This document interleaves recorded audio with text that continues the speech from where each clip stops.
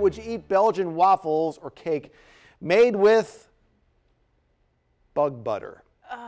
Food scientists, this is what food scientists do. They've been experimenting with the fat that's inside insects because they say it could be a healthier alternative to cooking with butter or oil. And we're talking about something that is environmentally friendly.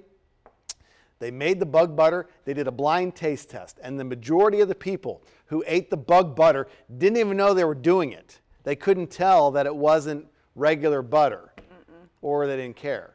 Scientists say cooking with insects is a trend in many countries already, and this bug butter could be what makes it catch on here in America.